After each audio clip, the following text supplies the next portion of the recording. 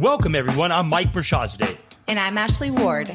And you're listening to the What Matters podcast. And our mission to spotlight top RIAs, wealth managers, and investment professionals who are redefining wealth management. Join us as we dive into their journey, strategies, and insights. Whether you're an investor or an inspiring pro, this is for you. Get ready for impactful conversations on the What Matters podcast. Welcome back to the What Matters podcast, where we dive deep into the world of wealth management, uncovering strategies, insights, and stories from industry leaders. I'm Mike Mirshahzadeh. And I'm Ashley Ward. Today, we have a very special guest with us, Kelly Campbell, Chairman and CEO of Campbell Wealth Management, a renowned retirement planning firm based in Washington metro area, based in Alexandria, Virginia. With over 25 years of experience in the field, Kelly has become a leading expert of retirement planning Kelly's been quoted and contributed to numerous business publications, including Fox Business, TheStreet.com, CNBC, The Washington Post, to name a few, and a recurring blogger for the Smart Smarter Investor on U.S. News and World Report, and also the author of his own book, Fire Your Broker. Welcome, Kelly. Hey, thank you. Good to be here. Thanks so much. Well, we're so excited to have you with us today. Let's start by diving into your origin story. Could you delve into the personal journey and tell us about your background from graduating from finance degree at the University of Maryland and then the experiences that led you to establishing Campbell Wealth? Yeah, so uh, so I guess I'll, I'll, even start in college. Start there is probably the best bet because I, I was originally an engineer, and uh, okay. uh, when I when I wasn't doing very well in engineering, uh, it was interesting. I, I was uh, meeting with someone who was selling me a waterbed for my office or for my uh, for my dorm. That's was like water beds in the dorm. So anyway, I'm meeting with this guy and we just got to talking and I said, Hey, what, what's your major? I'm having all kinds of trouble with what I'm doing.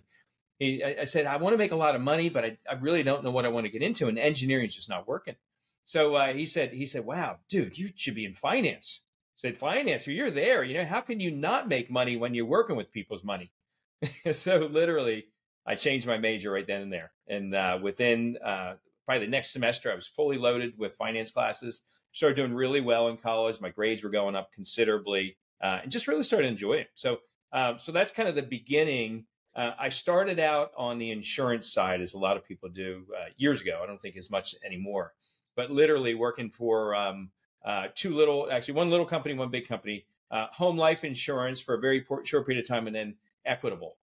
And uh, Equitable, what I really liked about my experience at Equitable, it kind of taught me the insurance side of the business and, you know, kind of understanding protection and why people needed it. So it was kind of interestingly enough, it was the basis for everything I was, you know, started with.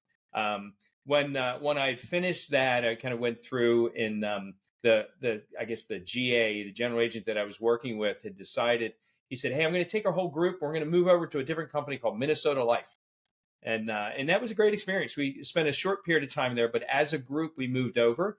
Um, we went for about four years, and uh, and I really learned a lot about about lists because uh, Minnesota Life had a number of companies that they had. One of them was a company called Ministers Life, and and that in and of itself is a whole interesting story. But but they had all these old Minister Life uh, contracts, but they just bought them. They had nobody to service it, so I said, hey, can I have a list of the leads? Then we started making calls on those leads, uh, just learning a lot about different different vocations as well. Even ministers not having to pay into Social Security, you know, just kind of learning that kind of stuff as well. And then working with other ministers, realizing that I could also work with their congregations. So that worked out pretty well. It's kind of interesting. Um, and then at some point, I guess uh, AXA or Equitable, which was also uh, bought out by AXA Advisors, the French company, had uh, wooed our general manager, our general agent back. So we, as a company, left after four years of uh, Minnesota Life, moved back to Equitable.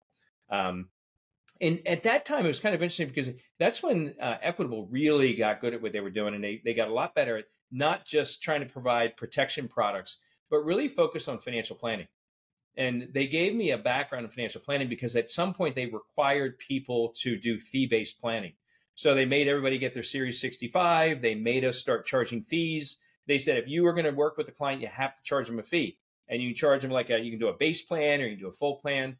And I thought that was a great experience. They taught, they sent us out to uh, Alpharetta, Georgia. They taught us how to do it, um, you know, and and, uh, and we really got good at it. So I was, uh, I guess, I was one of the one of the top financial planners in the office. You know, understanding how to use the software because I'd already been using some financial planning software in the past and, and, that's what gave me kind of the real financial planning background. So now I had the insurance and the financial planning, and then I um, then I decided, you know, I'm, I'm just I don't feel as independent because they were they were kind of restricting me on some of the product and strategies I could use, um, and they only wanted me to use the ones they kind of had under their roof, if you will.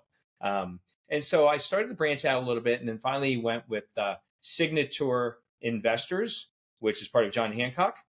And the reason I went with that company was that they were really focused on investing. And, and so that next stage of my journey was really learning kind of the investment world and you know how investments work. And I, even uh, they had an RIA registered investment advisory which allowed me to kind of understand the whole thought about charging a fee for investment management. And, and they manage all the investments but you know I ended up bringing a you know bunch of clients in. Um, and I did that for about three years and that was all through because uh, I remember being in that building during 9/11. So perfectly remember that kind of where you were during 9/11. So I remember that very very quickly. I'm sorry through through 2001. So um, I remember that, and then from there is when I decided, all right, I was restricted by my first company, even restricted by Hancock Signator um, on what I could, what products and strategies I could work with. I think I want to go out on my own.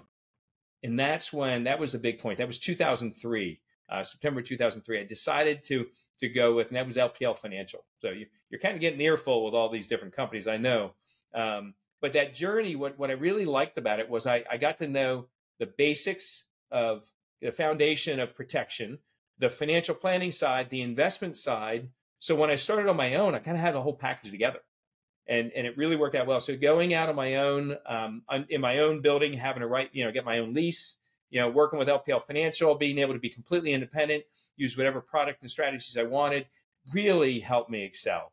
And and I think that was probably the the biggest change of my career because it really uh, allowed me to see what other advisors were doing, not just advisors with a captive agency, but more advisors that were you know kind of on their own and doing well and and you know blowing the cover off the ball. So that's probably where probably my best advantage came from did that for 15 years uh, and did it under the name of Campbell Wealth Management.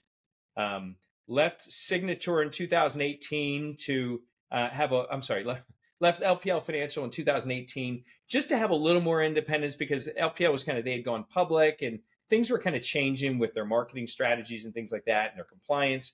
So I said, there's got to be a better way. They're kind of now, I feel handcuffed again. Every time I feel handcuffed, I need to need to kind of you know I need a little more freedom, be able to to get to the people I want to get to, um, and that's when I, I really I changed broker dealers, which wasn't that big of a deal because most of what we did was under our registered investment advisory.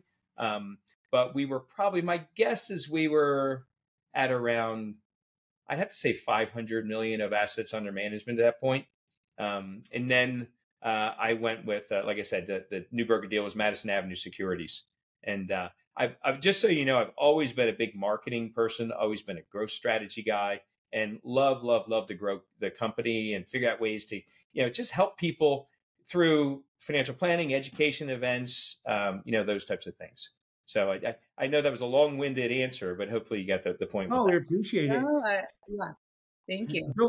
Building on that, Kelly, what specific experiences or insights motivated you to narrow your firm's clientele uh, to those age 55 plus. How did this uh, special specialization evolve over time? Yeah, yeah again, I, I've been a marketing fiend for years. I read all these marketing books. I was reading marketing books when I was in my teens. So, you know, classified ads and all these different things. So some people will know exactly what I'm talking about. Most everybody's there. Like, what's he talking about? What's what's he mean? Um, but it was interesting. I um, I'd read all these different things, and I always heard the the line, "There's riches and niches." Right? And the more broad you are, the less, uh, the harder it is to to really, uh, spec, I guess, specify in an area and become really good at it. So I said, you know what? I said we're really good with uh, with retirement. We know it pretty well. The retirees have more money, or the people close to retirement have more money than, let's say, you know, people my age or the you know 30s and 40 and 50 year olds. So we really started going with the 55 plus age. And um, and we already had the financial planning down and the investment management down. So we kind of put it all together. I started doing uh, a lot of seminars, so seminars to teach people about retirement. Um, I uh, had I when I started with LPL, I also got into Ron Carson's coaching program, uh, oh, called Peak Performance oh, yeah. back then. my my uh, uh, twin brother Darius, who's also my business partner, uh, just interviewed Ron Carson on his podcast. Oh, he's awesome. Yeah, yeah. Love, love Ron. We're, and he, we know each other very, very well. Uh, he's been he's just been great, you know. And he, the, the I think the key to that was not only was he a great coach, but he was, you know, he, he always talks about this, his book "Tested in the Trenches" because he was he was in the trenches. I mean, he he wrote a book on things not that were were were popular in industry, things that he was doing. And I, and I think that's what really kind of caught my eye as well. And, and again, I had been through all kinds of different coaches, from strategic coach to to um, with Dan Sullivan and you know Ron Carson as well, Tony Robbins, you know, just so many different coaches that that have kind of helped me along the way. But I really like Carson's program because it just it helped the advisor think bigger. And I'd been on on his his stage a number of times speaking to the advisors as part of the group. Uh, and what I realized was that you need to have a strategy, right? You need to have something that differentiates yourself. But I also realized you can have the best of both of those. You can have the cure for cancer, but if nobody knows about you, where are you going to go with it, right? So that's when I, I, just really realized throughout that time that I really want to be able to to get in front of more people, and that's really why probably the biggest reason I did seminars, so I could get in front of more people. You know, instead of the the you know the the one on one advertising, the one to many, and and it really significantly helped. Well, well, let's highlight on that. Um, you've obviously been able to build your firm. Uh, I, I, don't believe any AUM when we read it because Ashley and I obviously get misled there. Um, to to uh, close to or over a billion dollars now. Um, and correct me if I'm wrong there, please. Uh, yeah, it, it's uh, we are at just over a billion of AUM, and then with assets under advisement, you know, things like uh, outside strategies, investment strategies, we're at just under 1.2. That's phenomenal. Um, and uh, tell me about that. Did you grow the company through doing those seminars? Uh, how were you able to grow your company? Did you do it mostly organically, inorganically?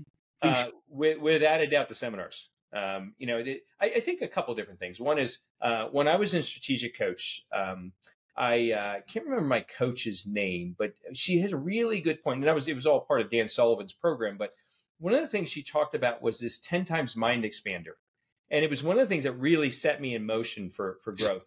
And all it is, you take wherever you are right now. Let's say you're doing whatever it is, a hundred thousand dollars a year in revenue, a million dollars a year in revenue, ten million, and you just 10x it. You know, so 10 times minus expander, 10 times the amount, and just say, okay, if I'm I'm doing a million, right? Now I'm doing 10 million. Right now I now I write down everything I would have to do to be at 10, not not to get to 10 million, but to be at 10 million. How would I look different? Who would my clients be? What kind of marketing strategies? What kind of team? What kind of office? What kind of um, you know financial planning and investment process would I have? And every time I've done that, it's significantly grown my practice. And so I do it fairly often, but it really it just helps you to kind of think bigger. So instead of you know the, the average firm grows by I don't know ten or fifteen percent, I'd imagine um, we were growing by fifty percent and eighty percent and hundred percent because we were thinking so big that even if we completely messed up and only grew by you know the twenty five percent of the, what that ten x was, that's still that's a two and a half x. Right. So really valuable to have that conversation. I, I like what you said there. Uh, you know, I, I, I um, and Ashley could attest to this. I often do those do, do those boards um, and and write down. I mean, I write down the goals. You know, you know, every day. Ashley and I were on the Franklin Covey system. You know, dating all dating all the way back to what the I started in the early '90s using it. But um, yeah, I think that's very important. And you know, uh, I would say like on my whiteboard, um, I'll wipe it clean uh, about once every two or three months and rewrite everything just to remind myself of the stuff that I've been procrastinating on. Um, so, you know, when you say that, you know, you guys have grown by that much, uh, it doesn't surprise me because when you're constantly reminding yourself, you know, there's there's a point in a learning in a, in a, in a learning to that. Um, tell me more about your firm there. How many advisors do you guys have now? And uh, Mike, can I add one more thing? Absolutely. One more thing I'd add is I also had a vision board. I always I was really a big proponent of vision boards, and I think I got that from John Assaraf. Can you uh, tell uh, us one thing that you put on your vision board? Oh, all kinds of different things. I, I um, so I've had I've had a number of vision boards. I, I wish I wish I wish I had my old one. I just don't have it anymore. I, I don't know how it got thrown away. Maybe it's somewhere in, in stores. But um, but one of the things I said, you know, when I was a kid, I, I used to live across the street from the from the Chesapeake Bay. And you know, we had a boat, but you had to put it on the trailer and you had to put it in the water. And I, so one of the things I said, I said, when I grow up, I'm going to have a house on the water and I'm going to have a boat and a dock where we can literally water ski right from there.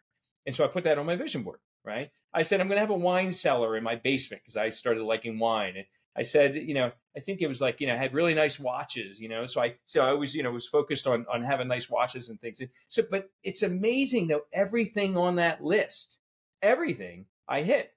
So what I did was I built another list, you know, and, and it wasn't, you know, the vision board is all about pictures right? So you literally just go to a magazine. You, you know, if I say, hey, I want to have, I have a house on the water with a pier, I need that house on the water with the pier. I need a picture of that so I can see it. And and you know, it's just amazing when it gets in your head. These things just start to happen. You're you're you know you just unconsciously start to do things that make them come true. So, uh, so I would definitely advise for everybody to, the 10 times mind expander and then do that vision board. Both of those exercises, they just, they help you grow considerably and quickly too. I, I, I love that your vision board was was so much more sophisticated than mine was, right? you know, I, I, I grew up uh, down the street. I don't know if you remember a show called Twenty One Jump Street. Oh yeah, yeah. Uh, and there there's there's uh, one of the undercover cops was this Asian guy, um, and he lived uh, right down the street from my brother and I. We grew up in the L.A. area, and he had an Acura NSX and I think my first vision board had, you know, that Acura NSX on there. Although I never owned the Acura NSX, right? I think I was just too big for it. Um, you know, I, I, always had that car in mind. Um, but you know, you had a, a, house on the water with a, with, with a wine cellar. Um, I love that. Um, but yeah, uh, you know, thank you so much for sharing. Absolutely. So now, I'm sorry. Now I'll go back to your question about the team. Yes. Uh, you know, and and I do think I think one of the most important things you need to be thinking about as a, first of all as a business owner, any business, uh, and then second of all as trying to expand considerably is you can't do it all, right? And and that's it's really hard to give up control sometimes of things, but you have to because you'll never you'll never grow unless you give up control. And then unfortunately, what that means is you have to trust people are going to do what you want them to do. And worse yet, especially for me, it means you got to be really clear with them on what you want them to do, and you got to know what you want them to do. And I never was. Eh, it's well, I can't say never, but in the very beginning, especially, I was really bad at kind of you know hiring people and and figuring out how to tell them what to do. I just figured, well, you know, they should know it. I, if I tell them once, they should know everything. And I was so wrong, you know. And the more I shared and the more I repeated what needed to be done, the better it got done right? And the more I wrote it down, the more I had systems and processes in place, and and even um, you know working with Carson at, in the coaching program, they had they were all about systems and processes, and uh, what a great thing to to have as kind of the the basis for for really building the business. And so what I started to do, and I, then by the way, I read a good book too that kind of and it kind of encapsulated all this information. It was called the first one was called the E Myth, and it's called the actually the E Myth Revisited. So the E Myth was all about how to start a company knowing that, you know, like let's say it, it starts out with a, a woman that bakes pies really well. And so what, what it talks about is the fact that, you know, yes, she bakes pies, but is she really just ready to start a business? So, uh, you know, she had this kind of coaching person that helped her along and said, okay, you're good at baking pies, but you know, there's more to the business than just baking pies, right? Someone needs to, to work the counter. Someone needs to hire people. Someone needs to sweep the floor. Someone needs to clean the bathroom. Someone needs to clean the ovens, you know, and all these different things. And then what the book got her to do, what the person in the book got her to do, was just to kind of put all these things on paper and say, these are all the jobs that need to be done. And then realize that I have to do all of them, right? But that's okay because now I know at least they're written down, and at least, at least I know what every position holds. And then I, I, in, I, me following that process, I then hired my first assistant, which meant those things under the assistant that I was, you know, formally doing, I now gave off to that new person right? Then I said, okay, I need someone to make phone calls for me. For uh, you know, the assistant's going to run the office, do paperwork and things like that. But I need someone to go with me to seminars to make the you know and make the phone calls. You know, kind of get everybody's uh, you know evaluation forms and making phone calls to set the meetings, make sure the meetings happen, do the follow ups, to make sure the second meeting happens. So, you know, but but it was really it was very well spelled out you know and next thing you know I, I, needed you know someone that was going to I, you know i never really was the portfolio management guy. I mean, I've done it in the past without a doubt, but I but I knew someone could do it better than me, so I hired a portfolio management person, right? And so so now how we're built, we're built in all these different teams. So it's 32 of us, I believe now.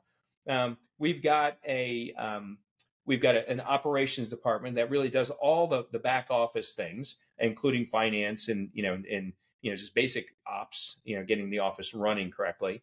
Uh, we've got a marketing team that does all the marketing, you know, communications to our, our events, for our, our, client events, for our client communications. Um, we have a wealth advisory team. Wealth advisor are business development people. So once the marketing folks bring in the lead, let's say, and I, I typically do a lot of the public speaking, but once their lead gets in, it goes to our wealth advisory team, right? And they're all certified financial planners. And then they'll take them through a process, a very well documented process that they'll go through. And once they finish that process and they they they get that client to say, yes, I'd like to become a client of Campbell Wealth Management. Now we bring them, you know, we bring them on board, do all the paperwork. We got a, a transition department that does all the transitions. Uh, then once that's done, we actually get that client situated. Their financial plan, their investments are situated, you know, actually reallocated.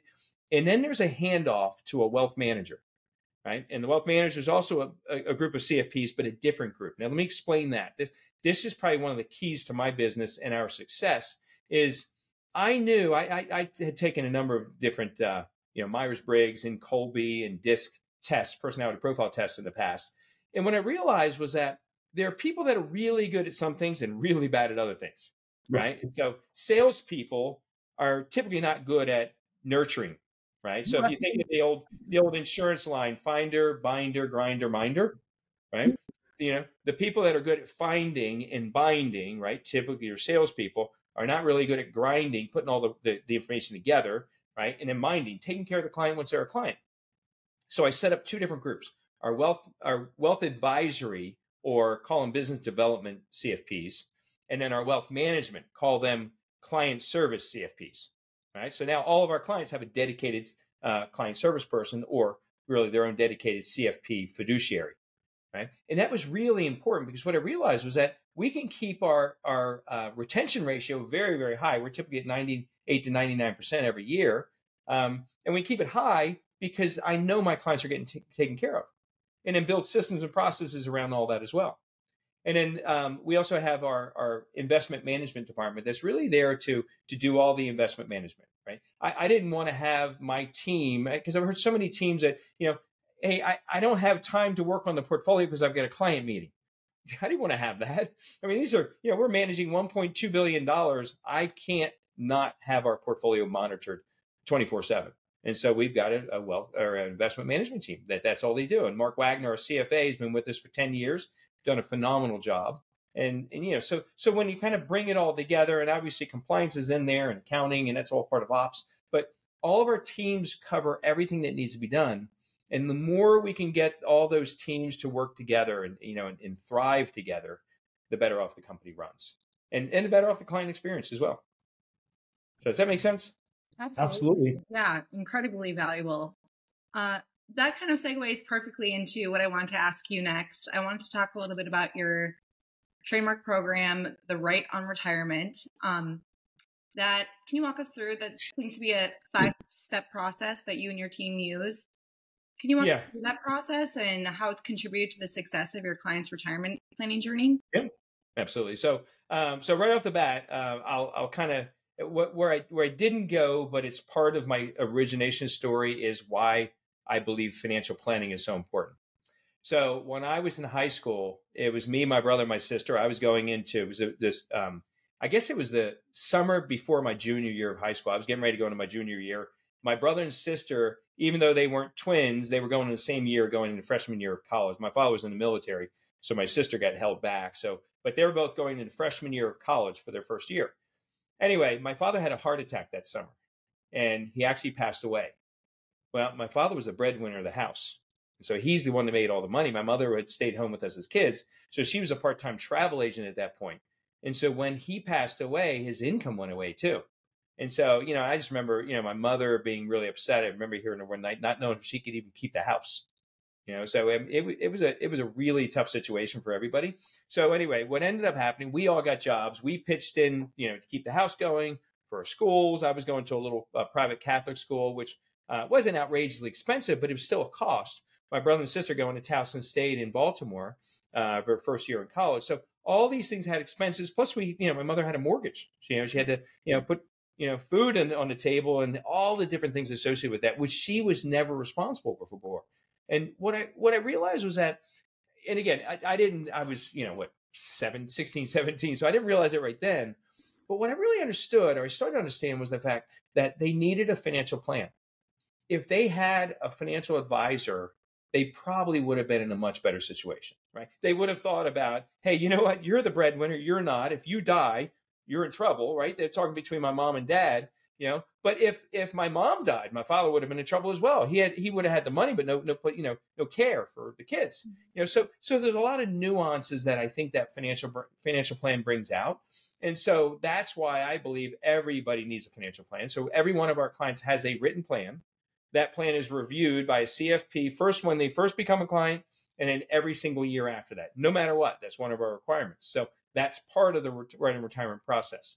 So initially, when someone first comes in, depending on how they come in, what type of uh, program, either an educational webinar or one of our um, our dinner seminars, wherever they come in, we are going to then bring them in for a discovery meeting, or sometimes we call it a lab class as part of our educational program. So when we when they come in, we really want to find out what's going on. You know, what what how can I help even if it's just verbally today to give you some more information, even even if you're not a good fit for us, I want to help you in some way, shape, or form. Right, and that's our really our wealth advisory department. Um, from there, we'll go into a planning session. Right, or and not everybody goes to a planning session. Not everybody wants to. Not everybody hits our minimums. Not everybody, you know, not everybody's a good fit for us. So if you make it through and we invite you in to come to a planning meeting, what that means is you've you've kind of you've gone over that next bar. You have a need that we think we can fulfill and we think you you you will see value in what we provide right? So that'll be the planning meeting which will be next.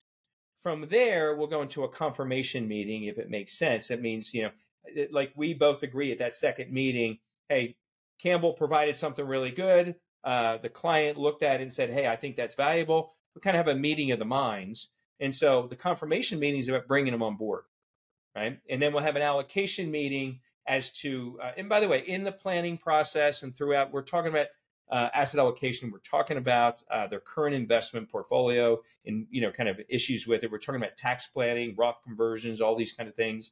Um, and then when we go into that allocation meeting, which is really the fourth part of it, it's it's it's okay. Let's get you situated to what's going to make sense for your future going forward right? And we'll put them in, you know, whether it's going to be all AUM, whether it's going to be AUM with some kind of side strategy, whatever it's going to be. And then the last part is that handoff to that wealth manager. So they're dedicated, certified financial planner, fiduciary that's going to be there to, to have all the meetings with them on a consistent basis, be there for phone calls, you know, to do that plan once a year and to just be there, you know, quarterly reach outs, all those kind of things that are going to make the client feel heard and feel confident in where they are and where they're going. So so that's that's what Right on Retirement's about. Yeah. Wow, and thank you for sharing that personal story. I mean, that's really it probably fuels your fire each day when you go into work and really with what you do. Um, it does. Definitely. Yeah, it's it's evident that you've established a process that is significantly impacting your clients. Would you be able to share a specific client success story where you felt you made a significant impact in their lives? Yeah, you know, I, I just um I, I, try not to prepare for these kind of calls because I think just the more I can come off the cuff, the better off it is. Because you know, it'd be great questions. But you know, one that comes to mind right off the bat, I think, is um, there was a woman we brought in. Obviously, I won't share any names, but, but you know, I, I, share a lot of stories in the in the uh, presentations that I do. But you know, obviously, never the names, but they're all true stories. So. True story. Uh, a woman her husband became clients. Uh, they were about, they probably had five years before retirement, maybe a little bit longer and the husband developed Alzheimer's. And the Alzheimer's was one of those things that hit really quickly. So it was kind of first of all out of the out of nowhere, and second of all very aggressive. So within like a year, the guy couldn't work anymore, and he worked for the government. He had planned on working another five years, and the five years would have given him several things. One is it would have given him more time on his pension, so his pension would have been higher. Number two, it would have given him more time to contribute to the 401k and get the matching right? The, in this case, the government's TSP. Um, and it also the third thing would have would have allowed him more time before he started collecting the money, right? You know, if you think about it, if someone retires at at they're planning to retire at 65 and they're going to live to I don't know 85, right? They got to fund 20 years. But if they retire at At 60, now they get to take care of 25 years and they got less money, less time to put money away. So if they retire early, it just makes it more difficult. Anyway, living in this area and having a mortgage, all those things stacked against them. The husband wasn't making any more money. He took his pension early. The wife had to take the pension early. Um, you know, and it was just a, it was kind of like all these dominoes falling at once and falling down on them. When we did the plan originally, they were completely fine.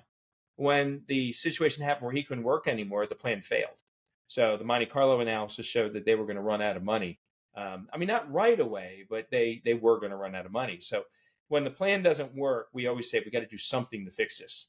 And so we started talking about it. And, and by the way, the wife was working, but she was just a, she, I almost going to say just a, but she was a part time real estate agent at that point, really just working part time because she didn't have to work full time. Right. But now she started working full time or as much as she could because she still had to care for her husband.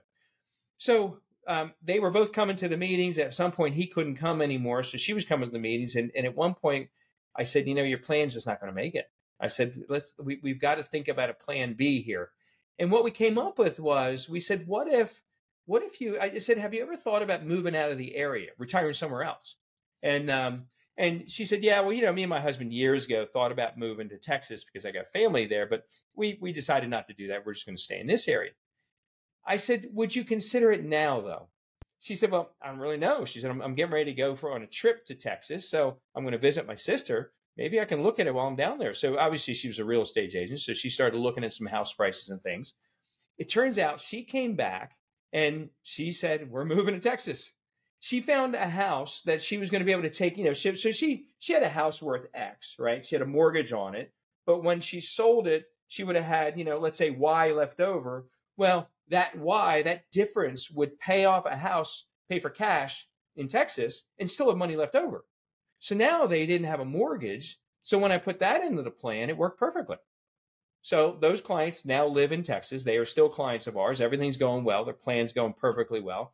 Husband's still still alive, um, and again, still has Alzheimer's. But it, it was a good story because the plan was failing. I mean, she wasn't going to make it, and there was, you know, a lot of people don't do financial planning. They wouldn't have realized that she was going to run out of money. So uh, so I, I kind of look at that. That's a big win, a big win for everybody because now we put her in such a better situation. Absolutely. Thank you for sharing that with us. Absolutely.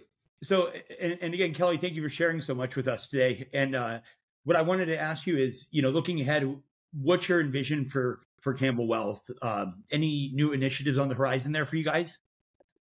You know, I, I a couple of different things, and, and um, you know, we talked a little bit about this about AI. Uh, I think AI will have a place in our business. Um, I look at it more from a marketing standpoint. I think there's a lot of great value there because it can help us kind of, you know, see some other opportunities that we haven't seen in the past. It can help us kind of develop opportunities as well. So I think there will be some some value there. Um, I, you know, I just uh, I've I've read uh, one book I absolutely or one author I absolutely love is is um, Alex Hormozi, and he wrote a couple different books. One hundred million dollar leads and $100 million offers. And I've read a lot of marketing books, uh, but by far, he is my favorite marketing person, like beyond belief favorite. If, if you know your audience wants to do that, go get them. Actually, just just look him up. Just look at some YouTube videos. Uh, one of the smartest marketing person people I've ever seen, and he and his wife kind of they tag team um, with his company, um, which is now called Acquisition.com. But he sold a number of different companies. But it's really key that what I really liked. He said this one thing that was really important he said, he said, I want to give away the information and I want to sell the implementation. In meaning, you know, I got a lot of great stuff in my head. I, I can I can explain a lot of great things, and and some people are really good clients for us, but a lot of people aren't, right? And some people could be a good client, but they don't want to be a client. That's fine too. But if I can provide value to everybody, right, by giving away the information, and those people that want to become clients, right? That, that say, you know what, I want to go further with, with, with this company. Those are the ones I'll sell the implementation. That's where I'll get paid. But uh, I think I think people are just, you know, sadly, they don't. Nobody wants to share information anymore, and I think there's such uh, such a need for information. You know, I, I mean, everybody can say, yeah, I can just search that on Google. Yeah, and you'll get a million million different answers. Which one's right? Which one's the best? Which one's the best for you? Which one coordinates with all the things you're doing? So just kind of looking at it to be able to say, hey, let me let me help you understand Social Security. Let me help you understand why it's so important to do planning for it and what that could mean. And, and let me help you understand what it's going to look like if it really does, in fact, go down by 20% in 2034 and 2035, right? Those are really important conversations. And you build a trust with an audience when you do that. You know, it, it's kind of a, there's also something called the law of reciprocation. That's not why I'm saying to do it, but but it really does. It it, it is a, a thing in the in play, which is you do something for someone, they feel like they want to do something for you you know but i just feel that if you can if you can become confident enough in your business and in what you provide that you can give it away you will have clients lined up at your door to work with you yeah i like that now looking ahead what emerging trends or developments i mean you mentioned ai but any others that you foresee shaping the future of wealth management you know, I, I, think there's I think there's all kinds of things going on. I'm not convinced that everybody needs all kinds of things. You know, I, I think that there's some some things that, you know, when you have somebody with a highly appreciated stock position, you know, and they can only sell so much, I think there's some different, you know, uh, option strategies you can utilize to, to, you know, help make them a little extra money or help reduce risk depending on what you're looking to accomplish. Uh, I think there's some, some, you know, aggressive uh, investment strategy you can utilize that I think can work really well. But you know, just realize it's going to be more for your longer term money because they can still lose pretty well also. Uh, but over time, they should outpace a lot of other things. Um, I think tax strategy is going to be huge. I, I, teach a whole tax class, taxes in retirement, um, and I bring up the U.S. debt clock. So the the website is usdebtclock.org. And really, I bring it up and just talk about the, where the debt is and what the interest rates are and how much the government's paying for interest right now and, and how the government makes money, which is tax tax revenue, right? So I truly believe tax rates are going up, and and I don't think a lot of a lot of advisors talk tax. It's you know our big our three biggest expenses in retirement will be housing, healthcare, and taxes. And people don't want to talk about the tax side, but it's so important because I I think taxes are going to go through the roof. I don't think they have any other way to go uh, and especially when the tax rules change in 2026, when uh, and then when all this, you know, kind of the, the stuff hits the fan and they really do start raising tax rates, people are going to realize, wow, I should have done those Roth conversions back then. You know, they're going to have conversations like that and say, you know, is it too late? You know, and, and, and it'll never be too late. You, there's always some things you can do tax strategy wise, but but I think that's going to be a really big conversation. It is right now with with all of our clients on what we're doing tax strategy wise and then how it's going to improve their future as well. So those are probably the biggest trends I see right now. So uh, touching touching on that, uh, what do you think the econ or I, would, I, should say, what's your opinion on the economic outlook? Um, you you brought the, the debt that we're in. Um, we've seen what's happened to interest rates. Um, I mean, the the cons, you know the consumer spending. Um, you know, let's look at the ten year Treasury, right? You know, going from a half a percent all the way up to you know five percent at one point you know, uh, you say tax, you say the taxes are going to be changing in 2026. What do you think the economic outlook is for the next several years? You know, it's a it's it's a great question. I'm surprised we we are where we are today. I'm surprised the market's where it is. Right, I'm getting that same kind of thought process from a lot of folks in our industry. Uh, but you know what it is, and we've got a process that works around it. So process that's very responsive to market changes. Um, but my take on it is, I do think the market is due, even though 2022 was a down year it wasn't a big down year. It's only down about 18% on the S&P. You would have thought it would have been down a lot more, but I think there's just a lot of uncertainty and a lot of scariness. I think there are a lot of folks that are that are I, I think not necessarily where I am. I'm in, in Northern Virginia, right outside of DC. Not necessarily where I am, but I think across the country, a lot of people deciding whether to put food on the on the plate or gas in the car, right? And it, they're making some really difficult situ- really calls on their situation. Um, all that being the case, I think a lot of this could come crumbling down. I mean, I think it's going to take almost an act of God to keep her from doing that. You know, you got high interest rates, you got high inflation, you got people running out of money, you got people losing their jobs. You do have a lot of layoffs that nobody's talking about. Uh, it, it worries me. And so, what I would advise, and we definitely have this, is having some kind of backup plan that says, hey, if the market tanks, here's exactly what we're going to do, and here's how we're going to keep you from losing a lot of money. You know, I think that's that's a really important conversation to have. The, the reason we work with people in retirement is not only is there a lot of great value for them and for us as a company, but it's really a difficult time. I mean, you know, people get to the point in at 55 plus where they say, I need to get my act together. Right. And so when they say that, a lot of times they're willing to say, I don't need all that risk. I want to, I want a uh, less volatile portfolio. I want more consistency in my returns. Sure. So I'll have more consistency in my income. So that's kind of the conversation. The it's it's remember retirement assets aren't just about building retirement assets. It's about building uh, typically a stream of income, and you want consistency in that income. So however you can do that, that'll help the client not have to worry about it is really important. Thank you. I appreciate that. Absolutely. Always have a backup plan. Before we wrap up, any final piece of advice you'd like to leave our listeners with? You know, I, I think um, I, I was I would say look at that vision board thought process. No matter where you are, if you're you know if you're you're not even in our industry but you're about to retire, uh, if you are in our industry and you're just starting or you're about to retire, anywhere in between, the vision board gets you to put on paper, but but in a visual format where you want to be in the future. And what's really good about that is, you know, a lot of people can't can't like vision things. They can't like you know picture things in their mind. Uh, and then when they write a sentence, it's not nearly as good. So if you can put your goals out on paper, and then you can put those by go just get in a magazine and cut out pictures. Go online, cut out pictures. I mean, I've done this so many times, and it's effective. It works 100. Uh, percent I mean, it, there's there are very few vision boards that have things on those boards that I haven't accomplished. And when they are, I take that off and put it on my next board. So uh, that's what I'd say. I, I, think you know anything's possible. My mother, my mother taught me uh, when I was a little kid, and I remember her saying this like a thousand times. And uh, and I'll, I'll say it in her voice as well. My mother was pretty much right off the boat from Germany. She said, "Kelly, listen, you can do anything you put your mind to." so you know, and she got me to believe anything was possible. And you know, I, I often say that to her. She's she's been great because she helped me think that way, and I truly, truly, truly believe it but you got to have a vision for what you want or you'll never achieve it.